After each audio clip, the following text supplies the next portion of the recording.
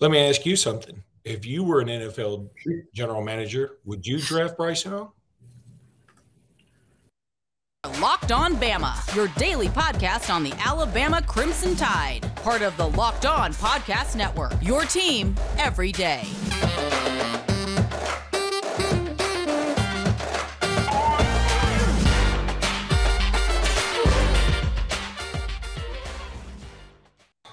Hey again, everybody, and welcome back into Locked On Bama. Luke Robinson, that's me. Jimmy Stein, that's him. Jimmy, it is mock draft season, and man, the mock draft, that's apparently a season you enjoy as you throw your arms up in celebration.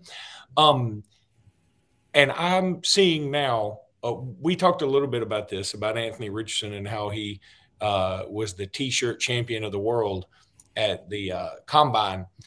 But I, I still think Bryce Young is going to go number one no matter what happens. I unless Chicago keeps the pick, which nobody believes they're going to do. Um, and I think they should draft him number one. I know Keyshawn Johnson uh, just came out with who he thinks are his five best quarterbacks in the draft, and he has Bryce number four, which tells me maybe he ought to go into concussion protocol low these many years after he's finished playing football. But um, I still believe Bryce Young should go number one. I believe he will go number one. And I'm leaning towards the Colts. Would you draft him number one? Yeah. Oh, yeah. Definitely. Definitely. Uh, I, I, think they're all gambles. When people say, oh, Anthony Richardson's such a gamble, they're all gambles. I mean, the, the, the number one obvious pick has been Bus in the past. But here's the thing about Bryce you know, he has zero issues off the field, zero. I mean, this is as close to a, a, a as close to a perfect guy off the field and a face of the franchise you're going to get. Uh, uh, there's no drug issues. This is not a. Uh, there's no he won't understand the playbook situation. He's as smart as the head coach the day he shows up. Uh, incredibly bright guy. Uh, is, is anybody question his work ethic? No. I mean, there's one thing in the world to question, and that is his size. And can he play at that size? And and will he have the durability that's necessary? Because you're making a four or five year investment with the first pick. I mean there, there's a there's a big monetary investment. Uh, there's the hope that he's going to be your starting quarterback. You're building it around him. Uh, it, uh, size and durability. That's the the questions. And those are big questions. They're big questions. They they really are. But the way I, i'm looking at it right now luke is it's not unprecedented that a quarterback his size would play in the nfl kyler murray is a starting quarterback in the NFL right now that is extremely similarly sized to Bryce. I don't think anyone, people have complaints about Kyler Murray. People think that Kyler Murray maybe isn't worthy of his contract or worthy of being the number one pick, you know, four years ago. But no one starts their concerns with Kyler over, look, he's just too small. No one says that about him. They say stuff like, he just doesn't study the playbook. He doesn't watch enough tape. He's not the leader we thought he would be. But no one looks at Kyler and says, you know, he's just too small. So that's why I think Bryce will be the number one pick. They're all gambles. Bryce is a gamble too. Uh, I think Bryce is the best bet based on how he played at Alabama, the competition he played against at Alabama. I mean, the SEC leads the NFL in, in, in draftees by conference every single year. Bryce has already proven against these same guys he's going to be playing against on Sundays. Same guys. I know you almost thought I was going to be on mute, and I was, but I caught it before I really started talking, so it doesn't count. I thought you were just contemplating all that wisdom I spewed forth. uh, I did just pull up something because while you were talking, it just dawned on me. I bet you there's a website somewhere that has like all the heights of NFL players right now. And the best that I've been able to find, and this is from February of this year, it says uh, this is the How They Play website with, or howtheyplay.com, which um, mm. never heard of it. But um, the it's scary 30, on the internet if you do that search. It is. It is the 30 tallest players um, ever to play in the NFL uh, Trevor Lawrence. Here's some names. Okay, I'm just throwing these out there. Trevor Lawrence at six six, Felipe Franks at six six, Jacob Eason at six six, uh, Justin Herbert at six six, Jake Luton, Luton. I've never heard of him. He played at Oregon State, but apparently he also played in the NFL. Derek Anderson, also at six six. Matt Blundin from a gazillion years ago. Um, Tyler Bray at six six. Uh, uh, I didn't know Joe Flacco was six six, but apparently he was. Um, my point is Josh Freeman, who didn't do much. I mean, he was a nice little college player, but he didn't do much. Ryan Mallett, who didn't do much in the pros. Sean Mannion, uh, all these guys are six six. Brian McClure. Um, I, uh, here's one that that you'll know: um, Jamarcus Russell, uh, Matt Schaub, uh, Nate Sudfeld, I vaguely remember him. Logan Thomas, Mark Wilson, Scott Mitchell, who was okay, Sonny Gibbs, Mike Glennon, who flamed out, Paxton Lynch, who may be one of the most famous flameouts in recent history, Brock Osweiler, and Dan McGwire was six eight. So, okay, here's my point. I know that was all from six six to six eight, right? There are about four or five quarterbacks in there that are you would consider good, even just good. There may be two or three that you would consider okay they have a chance to be elite. Justin herbert um, joe flacco was elite at one point. And then of course uh, pretty boy from clemson um, I, I, shouldn't call him that because he can whip my butt.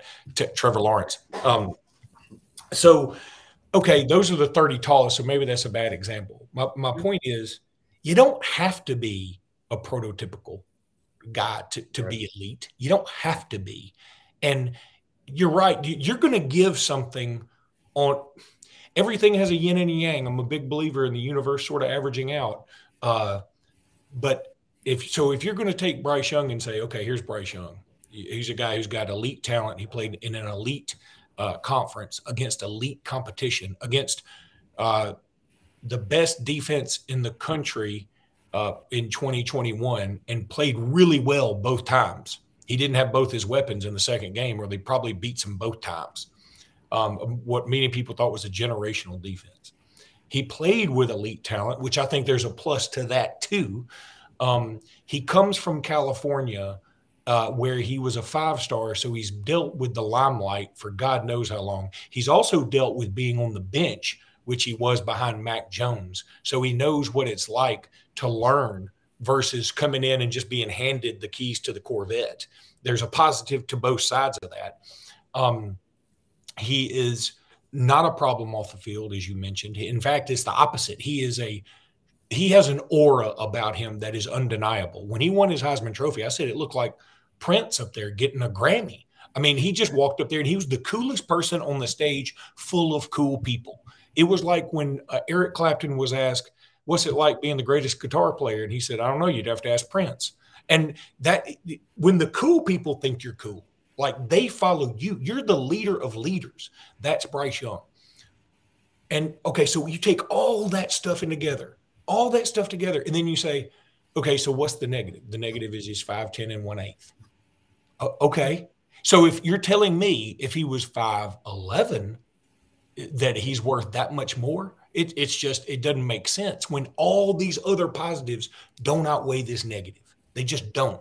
And so if you're going to fall into a trap about Will Levis, who obviously has a, has a great arm, or, or Anthony Richardson, who is obviously a freak of nature, um, you remember that old track and field game that used to be like in all the pizza joints where you had to like punch the buttons real, real fast and like you could, you know, do long jump or whatever? That's Anthony Richardson. He's he's a cheat code physically, but can he hit the broadside of a barn? That's that's can he hit the ocean from the boat? That's a problem. All right, Jimmy, let's take a break, and we come back. We're going to talk about um, you know all these all this quarterback situation because I love I love the draft. I, I, do. I hope other people do too. We're obviously going to talk about it a lot on Locked On. We're also going to get into just the Alabama quarterbacks uh, situation right now because I mean, frankly, Bryce is gone. So we got to deal with uh, what's next. But right now, I want to tell you about FanDuel. We're at the midway point of the NBA season. It's here, it's now, and it's time the perfect time to download FanDuel, America's number one sports book, because new customers get that no sweat first bet up to $1,000. That's bonus bets back if your bet doesn't win. Just download the FanDuel Sportsbook app. It's so easy. Go through it on your Android mobile device, your iPhone mobile device, whatever it is you got, your flip phone, your jitterbug. You can get it Uh, I think on Jitterbug. Then you can bet on everything from the money line to point scores to threes drained, whatever you want. You can do all this in a big parlay if you want to. Plus, FanDuel even lets you combine your bets uh, any way you want to. That's just awesome. So don't miss the chance to get your no sweat first bet up to $1,000 bonus bets when you go to fanduel.com slash locked on. That's fanduel.com slash locked on, fanduel.com slash locked on. Go there, make every moment more with FanDuel, an official sports betting partner of the NBA. Also checked out, check out, I did check it out, Locked on College Basketball. Um, great time of year in college basketball, and we're going to be talking about it a lot more this week. I mean, it's not necessarily time to right this minute, but uh, we will be talking about it more this week. You can bet on that. I'm going to the SEC tournament. Can't wait to be there. Looking forward to it. Going to do some locked on nows after the games, so uh, pay attention to that.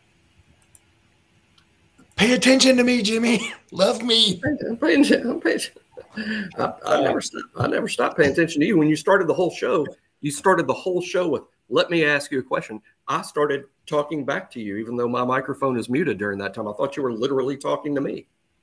Oh, that is true. I bet you did start. That's I funny. Like nobody can see you talk when you're muted. No, you said, "Let me ask you a question." I said, "Fire away."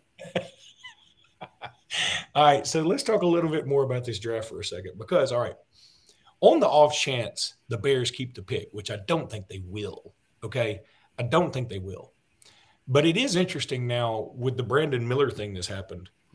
Uh, you juxtapose that with uh, Bryce Young, who we have talked about, is like, I don't even know how you can you can be a better person off the field without being over the top. You know, like Tim Tebow was so good that people were like, "This is kind of strange. He's so perfect. Like this is odd." And it, I think it that bore out that like, okay, he's almost too good to really probably flourish in the NFL, you have to have a, a bit of swagger about you too. And, and Tim Tebow is a fabulous athlete and a fabulous human being. We should all aspire to be Tim Tebow without actually being Tim Tebow. Does that make some sense? Because I think you, you it's hard to trust somebody who's never screwed up at all. And I'm not sure Tim Tebow's ever screwed up. you talking about that guy that's married to Miss Universe? Yeah, the guy who's married the guy who was a virgin until he was married to Miss Universe. That's that's practically impossible. But anyway, um, anyway, Bryce Young, super good. Brandon Miller, super good dude by all accounts. And I know there's some people listening to this who like to listen to it out of Bama hate, and they're like, "Yeah, but he was involved in a murder." Again, y'all are taking this way too far. I'm still seeing the Twitter uh, rants about him and Clay Travis's and whatever, and I'm like, okay, I mean, but I, I think y'all are stretching this too far and not paying attention. Or Jalen Carter. Jalen Carter now tied up in all the stuff at Georgia, where it might not be directly tied into it, but his name's associated with it. So it's going to cost him a spot or two. Now, when it comes to Brandon Miller, I don't know that it's going to cost him a spot or two in the draft because that that freakazoid who's seven foot five out of France was going to go number one, and then Scoot right. Henderson was probably going to go number two. Right. And so by the time Brandon it gets to Brandon Miller at three, I think some of the pressure's off. I think that right. it, Brandon Miller's good enough to be number three, but when you're talking about the number one pick, I think that you you can't take Jalen Carter right now. So while some people may believe Jalen Carter is the best prospect in the draft, and and some people do, I think that the good news for Alabama is it's either going to be Bryce Young or Will Anderson at one, don't you? Uh, I, I'm I don't want to say 100% sure because the Bears could end up keeping the, the pick. And if the Bears do, it's, you know, they're going to take Jalen Carter or Will Anderson. They'll take but Will. I, I think Will, right? I, I, think they would take Will. I, I, believe they would because of, but but regardless of that, I, believe the Bears are going to deal the pick.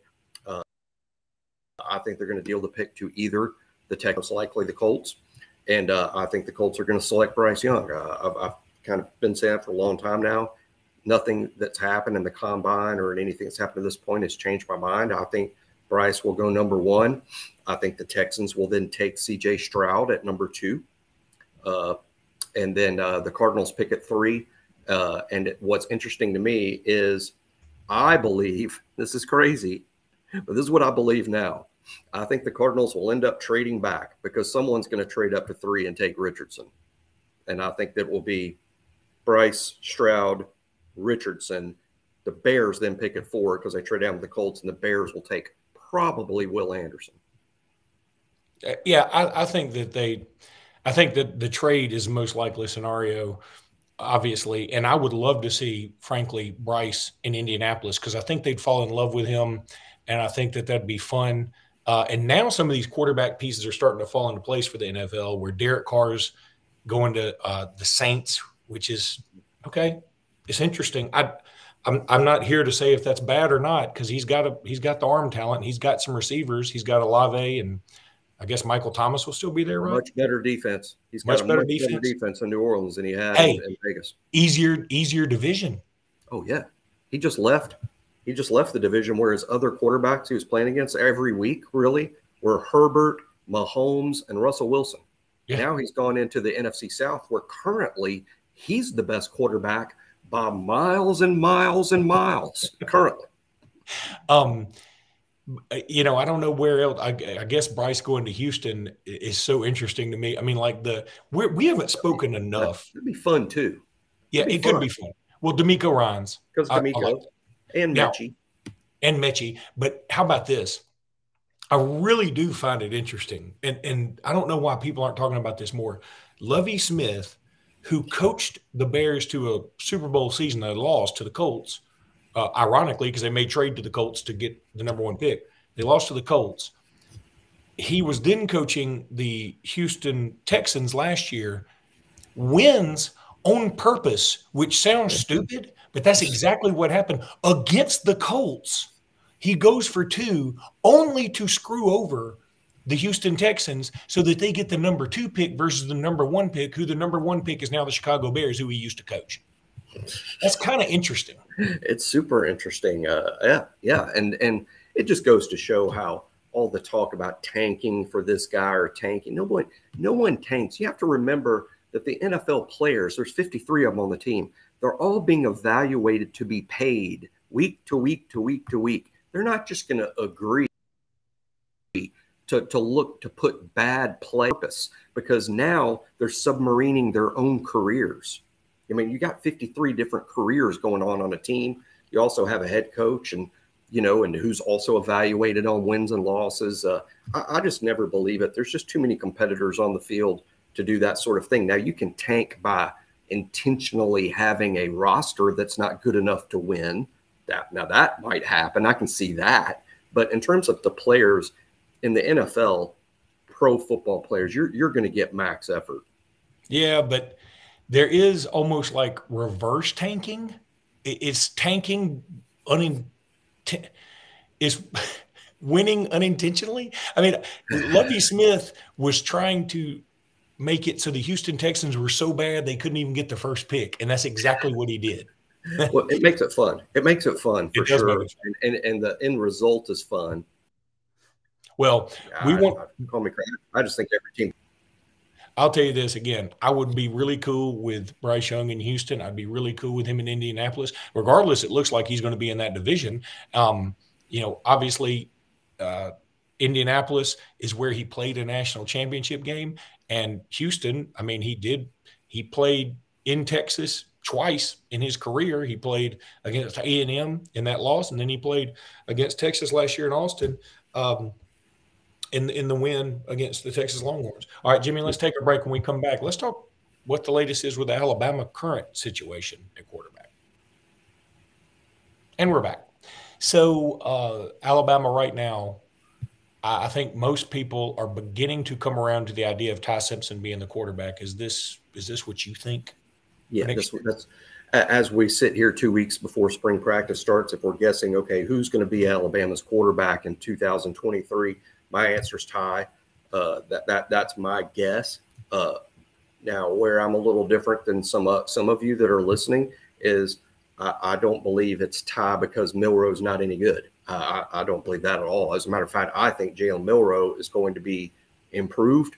Uh, I think he's going to be a quarterback you can win with. I think he would be a winning quarterback at Alabama. Uh, I, really, when I'm saying I think it's going to be Ty, I, I'm I'm I'm complimenting Ty. I, I think Ty is too good.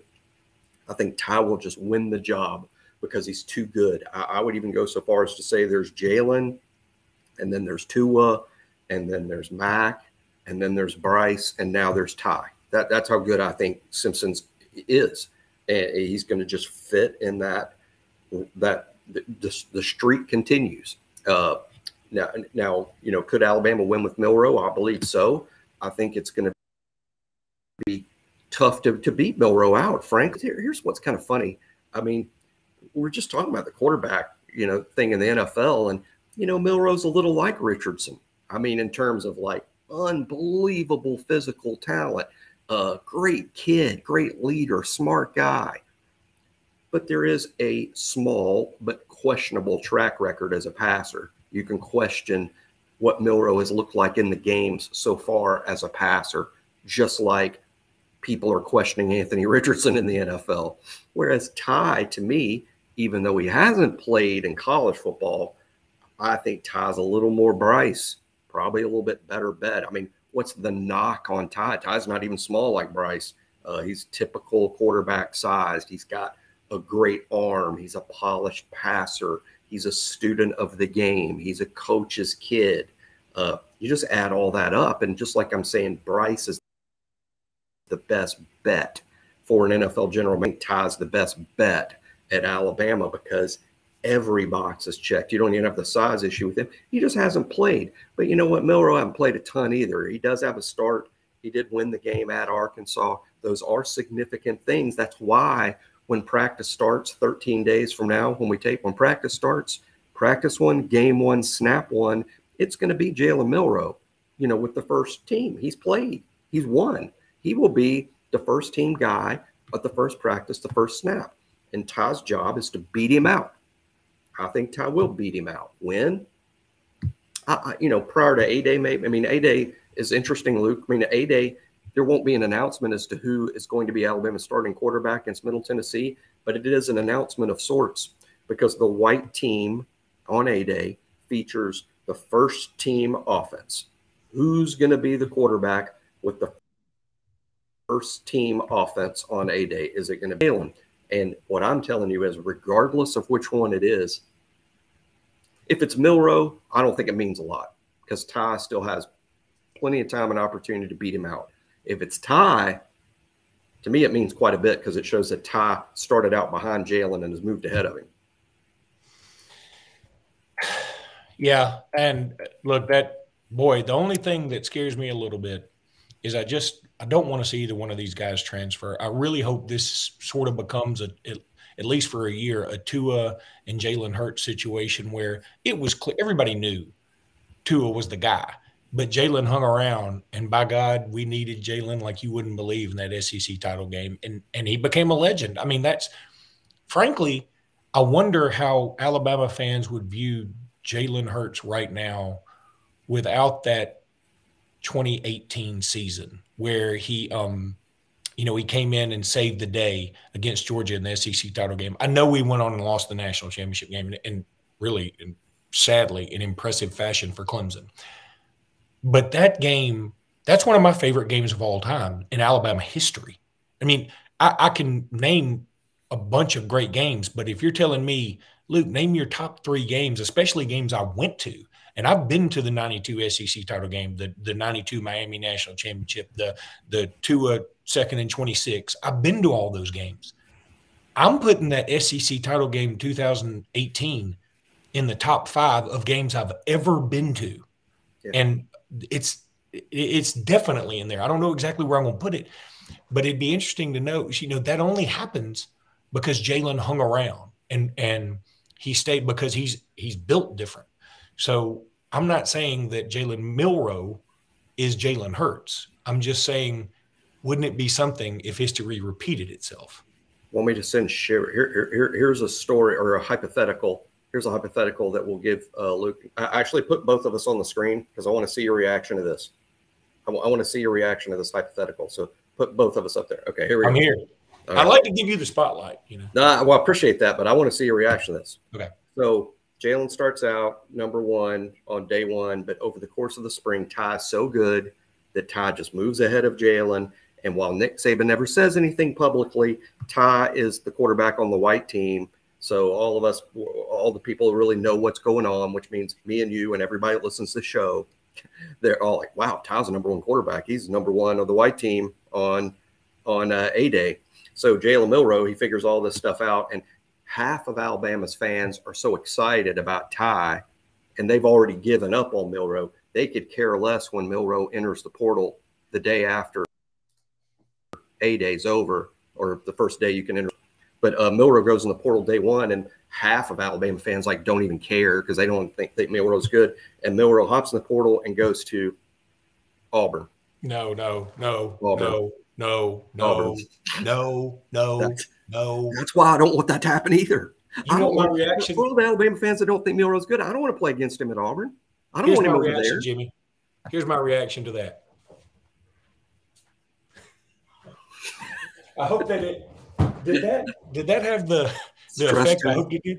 It's, it's like know, a stress a stress turn, or you were turning off the show, or I really I really did thought that I thought that chair turn was going to be more dramatic, and it wasn't. Yeah, yeah, it wasn't bad. dramatic. It wasn't dramatic, but it, it was. Uh, I knew there would be a reaction to that. I can't believe that I haven't really considered it. But the fact of the matter is, Auburn is probably sitting back waiting to see who's and all the oh. focus is who's going to lose the QB battle in Athens, who's going to lose the QB battle in Columbus, Ohio.